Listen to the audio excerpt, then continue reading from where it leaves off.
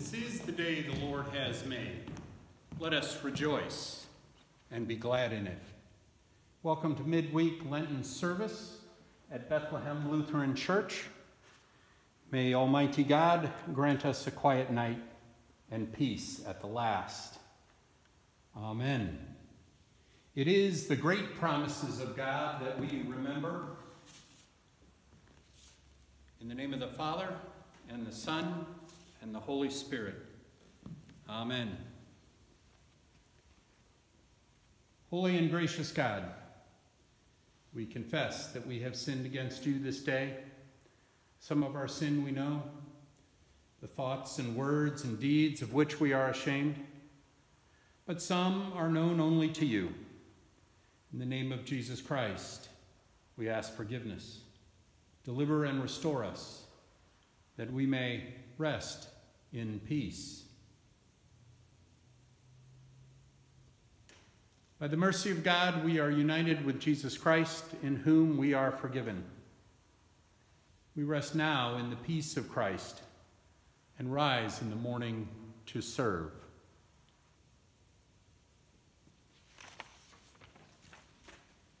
Our preparation for this night in our midweek Lenten series is, uh, well, we are studying the second, uh, we are studying Philippians, the second chapter, and this is the passage at which we conclude our Passion Sundays um, each year. This week we are focusing on At the Name of Jesus, Every Knee Shall Bow, that particular passage. To prepare ourselves for reflections on this particular passage in this particular day, we're, we have a few, uh, we have an Old Testament passage from Numbers, from Kings, First Kings, the 18th chapter, and uh, we have a psalm for this day, Psalm 22. Now we are reading the second half of Psalm 22, the pivot on which the distress turns and the praise begins. Uh, this is the psalm, of course, that we recognize from Jesus at the cross. Before I read the First Kings passage, I need to do just a little bit of setup for it. In, uh, in the verses that precede uh, our First Kings passage, uh, Ahab is uh, one of the kings of Israel who has stepped out of line. He has married Jezebel, and Jezebel has brought into the land of uh, the Israelites into God's land. Uh, uh, Jezebel has brought in priests of Baal. And uh, of course, as if it's going to be a compromised religion. And of course, people, they are hungry to follow the God that is, uh, the God that we so often call Lord in the Hebrew scriptures, that's uh, capital L, capital O, capital R, capital D, Lord in the Hebrew scriptures. That is the name of God that was given to Moses at the burning bush that we so often translate I am that I am. I'm fond of translating it as the God that is, as opposed to well, certainly in this case, the god Baal, uh, which uh, is a god that is not. And so the Hebrew people have been challenged to make a decision one way or another. Uh, since they have done this, there has been a great drought in the land, and uh, as we are very well aware, during any economic catastrophe, uh, there's plenty of blaming and finger pointing that goes around. It has come down to Elijah being the faithful prophet to stand up and invite the Hebrew people to believe in the God they confess rather than the God that uh, King Ahab and Jezebel have uh, instructed them to confess. And he does this by hosting the Super Bowl of prophets. I just absolutely love this story. It is an amazing, fantastic story. If you're not careful, 1 Kings 18. If you go look it up, you're going to find yourself reading backwards to get more of this story into your hands. And you'll be reading afterwards to see where else it goes. Elijah has just come out of the desert um, and has just uh, survived with a widow and uh, resurrected her son. This is the widow that fed him uh, from a jar of meal that was practically emptied. And um, it's a showdown, and it's of such amazing proportions, it almost seems like it should be in a comic book. But sadly, we do know that these kind of showdowns do exist in all the brutality when religions collide. I am leaving out of the reading today, uh, very, quite deliberately. All you have to do is read one more verse, verse 40 in that chapter 18, and you'll see how brutal things become. Now our reading, 1 Kings 18, chapter 30, uh, chapter 18, verse 30 through 39. Then Elijah said to all the people, the Hebrew people, Come closer to me. And all the people came closer to Elijah. First, Elijah repaired the altar of the Lord that has been thrown down. Elijah took 12 stones, according to the number of the tribes of the sons of Jacob, to whom the word of the Lord came, saying, Israel shall be your name. Now, with the stones, Elijah built an altar in the name of the Lord. Then he made a trench around the altar, large enough to contain two measures of seeds. And he put wood on, on the altar in order cut and cut the bull in pieces and laid it on the wood. He said, Fill four jars with water and pour it on the burnt offering and on the wood. And then he said, Pour the water on a second time. And they did it a second time. And then he said, Do it a third time. And they did it a third time. So that water ran down all around the altar and filled the trench with water. Now, this is Elijah's response to what the prophets of Baal had done without the water. They had put on their altar the wood and, a, and an offering of bull and an offering of a bull cut into pieces. And they had cried out, 450 of them, calling out to the god Baal. The contest was without any human being lighting the fire, let's see the God that responds. And now Elijah, it is Elijah's turn. He has already been mocking them, telling them to pray louder and to cry to their God louder. Maybe their God has wandered off someplace. Maybe their God is not paying attention, or maybe their God is busy meditating instead of being responsible to their needs, responsive to their needs. And of course, they have withered and become exhausted, and now it is Elijah's turn. The preparations are there. Keep in mind, there's been no rain for three years. At the proper time of the offering of the oblation, the prophet Elijah came near and prayed, O Lord God of Abraham, Isaac, and Israel, let it be known this day that you are the God of Israel, that I am your servant, and that I have done all these things at your bidding. Answer me, O Lord, answer me, so that my people know that you, O Lord, are God, and that you, you have turned their hearts back. Then the fire of the Lord and consumed the burnt offering, the wood, the stones, and the dust, and even licked up the water that was in the trench. And when all the Hebrew people, all the people of Israel saw it, they fell down on their faces and said, The Lord is indeed God. The Lord is indeed God. Do you see what I mean by comic book? By graphic novel proportions, an amazing battle. Of course, the fire of the Lord falling upon this and lighting it up would have been a lightning strike, which would have worked out very well with the rains that immediately followed.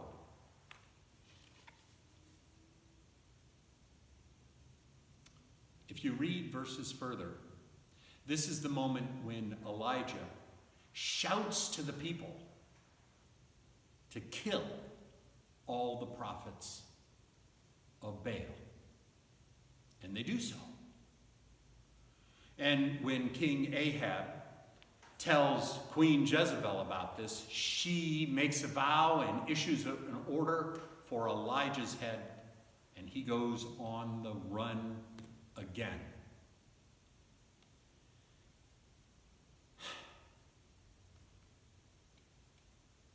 The cycle doesn't seem to end.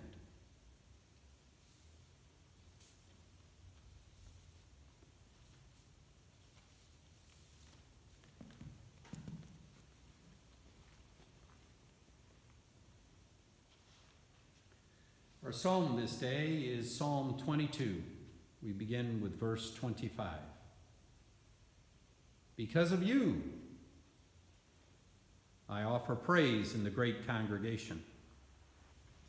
I pray my vows in the presence of his worshippers. Let the lowly eat and be satisfied. Let all who seek the Lord praise the Lord. Always be of good cheer. Let all the ends of the earth pay heed and turn to the Lord.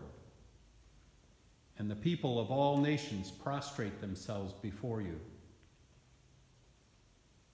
For kingship is the Lord's, and he rules the nations.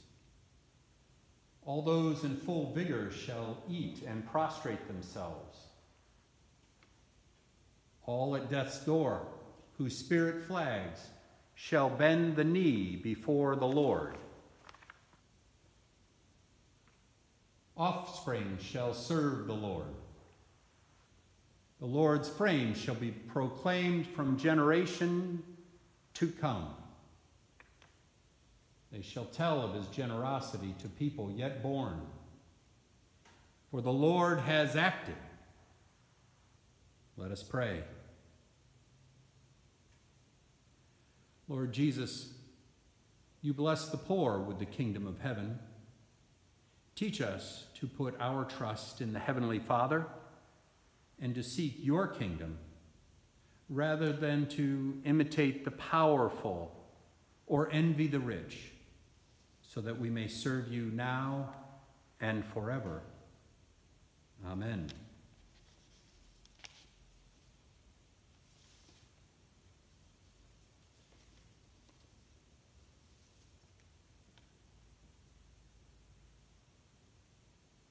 Reading from Philippians, the second chapter.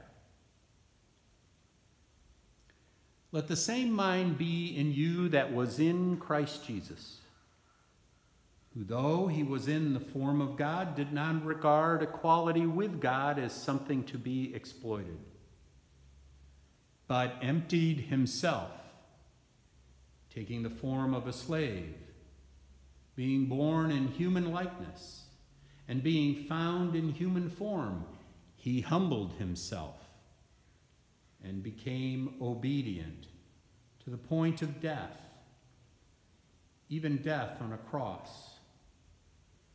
Therefore, God also highly exalted him and gave him the name that is above every name, so that at the name of Jesus, every knee should bend, so that at the name of Jesus, every knee should bend, so that at the name of Jesus, every knee should bend, so that at the name of Jesus, every knee should bend in heaven and on earth and under the earth, and every tongue should confess that Jesus Christ is Lord, to the glory of God the Heavenly Father. The word of the Lord.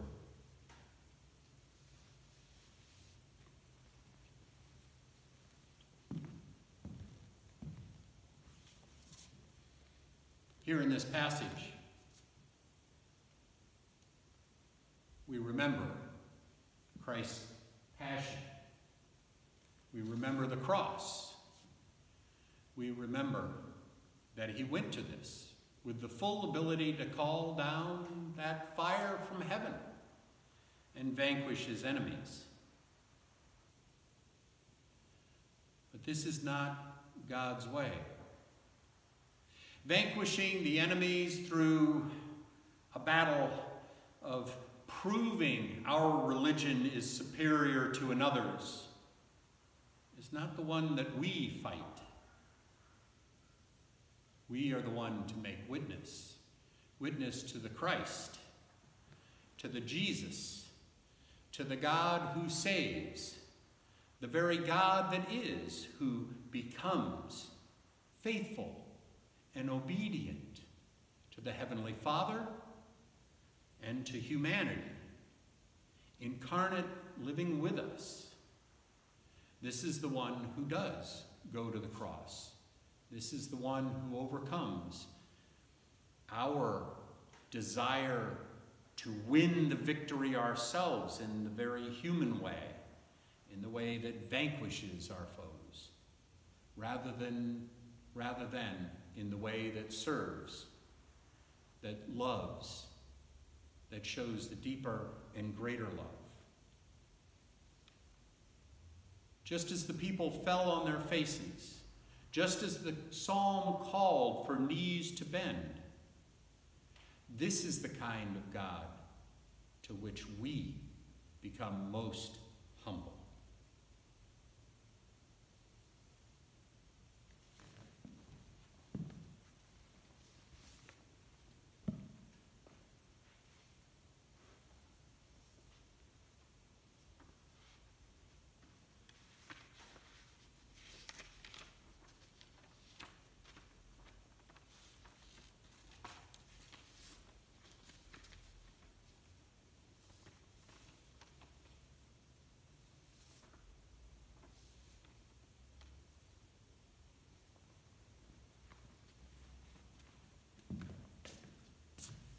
This evening for our prayers, I bring a prayer written by Lynn Ungar. It is brought to us by our synod, which through their emails, and all of us know how to receive emails from our synod, uh, through the emails uh, has arrived at us. A prayer for these days. The name of the prayer is Pandemic. What if you thought of it as the Jews consider the Sabbath? The most sacred of times. Ceasing from travel, ceasing from buying and selling. Give up. Just for now on trying to make the world different than it is. Sing, pray, touch only those to whom you commit your life. Center, center down. And when your body has become still, reach out with your heart. Know that we are connected connected in ways that are terrifying and beautiful. You could hardly deny it now. Know that our lives are in another's hands. Surely this has come clear. Do not reach out with your hands, reach out with your heart, reach out with your words, reach out with all the tendrils of compassion that move invisibly where we cannot touch. Promise this world your love, your love for better or worse, in sickness and in health, so long as we shall live.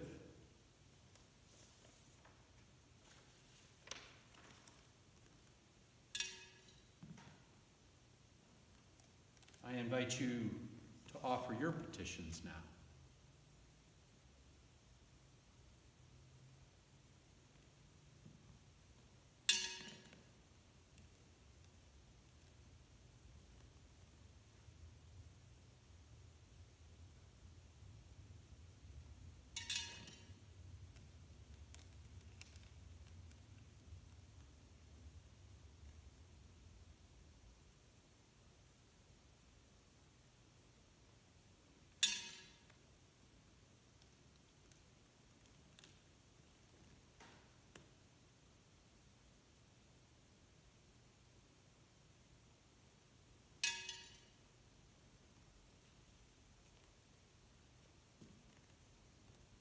Let us pray as our Lord taught us. Our Father in heaven, hallowed be your name. Your kingdom come, your will be done, on earth as it is in heaven. Give us today our daily bread. Forgive us our sins as we forgive those who sin against us. Save us from the time of trial, and deliver us from evil. For the kingdom, the power, and the glory are yours, now and forever. Let us bless the Lord. Thanks be to God. Now may the Almighty God, merciful Father, Son, Holy Spirit, bless, preserve, and keep us this night and forevermore. Amen.